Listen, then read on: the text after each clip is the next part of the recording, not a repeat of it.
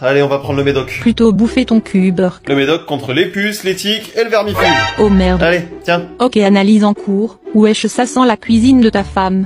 tiens, Ça me fait le même effet que la première fois où je t'ai vu. prends-le. Waouh, j'ai haut le cœur. Bon, comme on est tombé d'accord sur le fait que je le prendrai pas, je te laisse de le mettre en suppôt et moi je me casse. Ok, deuxième essai dans la vache qui rit. Voyons voir. Hop, on met ça dans la vache qui rit.